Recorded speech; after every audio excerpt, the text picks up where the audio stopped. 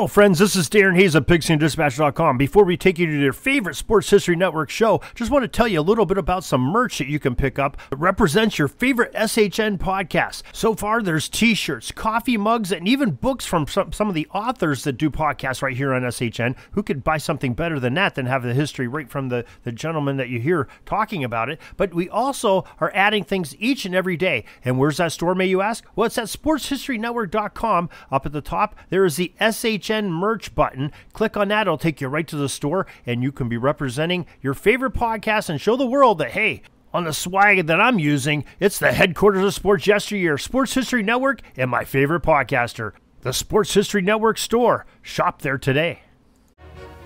This podcast is part of the Sports History Network, your headquarters for the yesteryear of your favorite sport. You can learn more at sportshistorynetwork.com.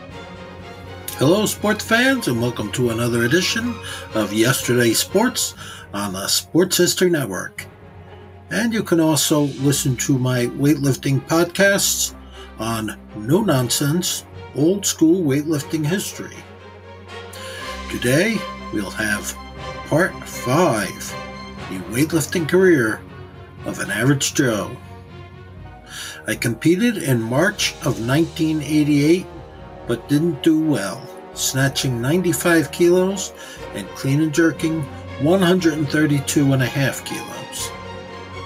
There would be no American championships for me. My body was telling me to stop, but my mind couldn't accept it. In spite of the painful tendonitis in my knees, I went back to the gym and trained harder than I had ever trained before. I willed my body to lift more weight, and my body responded. I was doing squats with 415 pounds for 5 reps. I got my front squat up to 405 pounds. I split jerked 150 kilos, 330 pounds from the squat rack, and cleaned a, a uh, full clean of 145 kilos 319 pounds. I snatched 105 kilos, 231 pounds from the floor, and 107 and a half kilos, 237 pounds from the hang position just above the knees. I competed in May and had the best meet of my career. I weighed in at 179 pounds. I opened with 97.5, that's 215 pounds in the snatch, and made a solid lift. I took 102 and a half kilos for my second and missed it out front. I made 102 and a half on my third attempt, but it wasn't easy. It was out front again, and I had to chase it, almost running off the lifting platform. In the clean and jerk, I opened with 135 kilos, 297 pounds, and made it. I took 140 kilos, 308 pounds for my second attempt and cleaned it without too much difficulty. But my left knee was on fire and I missed the jerk out front. Only one lift left to go. I was determined to fight back the pain and make this a successful lift. I cleaned it and once again pushed the jerk out front, but I recovered quickly and got it overhead for three white lights from the judges. The 140 kilo clean and jerk ranked me 35th out of 266 lifters in my weight class in 1988. My 242 and a half kilo total ranked me 46th out of 266 lifters. I was happy with my results, but I knew my time as a competitive Olympic lifter was running out. I took a week off from training and competed again only seven days later. I snatched 97 and a half kilos clean and jerk 135 kilos. I took a break from competing for nine months to allow my body to heal. I continued to train, but I had to lower the intensity or risk surgery to my knee and shoulder. In February 1989, I competed in the 90 kilo weight class, weighing in at 190 pounds. I snatched 97.5 kilos, that's 215 pounds. I clean and jerked 127.5 kilos, that's 281 pounds. That was a fairly big decrease from what I had done nine months earlier. Knowing I could not train as intensely as I once had, which would result in my lifts decreasing, I began to lose motivation. I decided to try one last competition in July at the Garden State Games. I made only one out of six lifts and retired from competition at only 27 years old. I never achieved my ultimate goal of competing in the American Championships, falling 12 and a half kilos or 27 pounds short of the qualifying total. But I was proud of what I had accomplished. Most of what I'd accomplished was through sheer willpower and the grace of God. I'm bow legged, I have sloped shoulders, and I have poor upper body flexibility. The tendonitis I had on my knees was a terrible detriment. Would I do it all again? In a heartbeat. For the next 22 years, I continued weightlifting.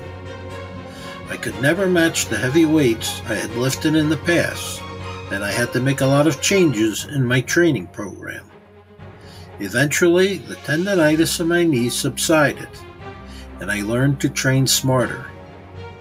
I made a few comeback attempts to compete again, but I couldn't accept not being able to lift as much as I used to, and I would eventually lose motivation. In 2010, my 17 year old son expressed an interest in weightlifting. I taught him how to do the Olympic lifts and coached him in several meets. We started training together, and my motivation and enthusiasm increased.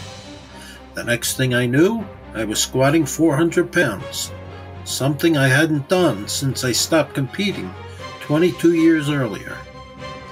One day, I was reading the local town newspaper and saw an ad for an upcoming powerlifting contest. It was called the Mighty Christian Powerlifting Contest, and it was an unsanctioned meet about three miles from my home. I never had much interest in powerlifting, and all through my years of competing in Olympic lifting, I had never done deadlifts and rarely did bench presses. But I knew I could squat some pretty big weights, so I thought, why not give this a try? What have I got to lose? In all my years of competing in Olympic lifting, I had trouble gaining weight. But now, at 49 years old, I was having the opposite problem. At this contest, I weighed in at 220 pounds. I made my opening squat attempt with 405 pounds. I asked for 415 pounds for my second attempt and took a seat while the loaders got the bar ready but as I looked up, I saw them stripping the bar down to 135 pounds. I ran over there and said, Wait, what are you doing? I asked for 415 pounds. Why are you lowering the weight to 135? They explained to me that after everyone takes their first attempt, we strip the bar and start the second attempts. I was completely thrown off by this because this is not the way we do it in Olympic lifting. In Olympic lifting, they just keep increasing the weight. This way, no one has to wait an extremely long time in between their attempts. So, needless to say, I had to wait a long time before the weight got to 415 pounds. I had to do my warm up session all over again but I managed to have a successful second attempt. After another long wait, I succeeded on my third attempt with 425 pounds. Next came the bench press, a lift I had little interest in and hadn't trained that hard for. I made my opener with 215 pounds and then missed 260 twice. In the deadlift, I opened with an easy 425 pounds. I then made 440 on my second attempt and 450 on my third attempt. I walked out of there feeling pretty satisfied. It felt good to compete again, and I thought maybe I'll do this again. In December, I competed in Holbrook, Long Island. All the heavy lifting caused me to gain weight, and I weighed in at 228 pounds. I squatted 420 pounds on my second attempt, but I started to feel some pain in my knee, so I played it smart and passed on my third attempt. I benched 205 pounds and missed 260. I deadlifted 465 pounds on my second attempt and had 475 pounds locked out on my third attempt, but I lost my grip and dropped the bar. I had increased my total from eight months earlier by 15 pounds, so I was happy. In March of 2012, I competed in East Rutherford, New Jersey. This contest would be a little different because I was doing deadlift only, or at least that was the plan. I weighed in at 220 pounds and made all three attempts, finishing with a 480 pound deadlift. But there was another contest immediately following the deadlifts. The objective was to squat your body weight for as many reps as you could in 90 seconds. I was 17 days away from my 50th birthday, and I wasn't planning on taking part in this. But the challenge was too tempting to pass up. I had the advantage of being the last lifter to go. The guy who is currently in first place did 24 reps, so I needed to do 25. Although high reps were not my thing, this was only 220 pounds, so I figured I could knock out 25 reps without too much trouble. The mistake I made was that I was too concerned about the timer I banged out 15 reps as fast as lightning. But then I started to struggle. Not because it started to feel heavy, but because I wasn't used to high reps. And I was simply running out of gas. By the time I got to 20 reps, I was gasping for air. The crowd started cheering me on, and that really helped. I barely made it to 25, but by the grace of God, I finished and won first place. I promised myself I would never do that again. Okay, that will conclude part five of the weightlifting career of an average Joe. I hope you enjoyed it. Take care and God bless. This podcast is part of the Sports History Network your headquarters for the yesteryear of your favorite sport. You can learn more at sportshistorynetwork.com.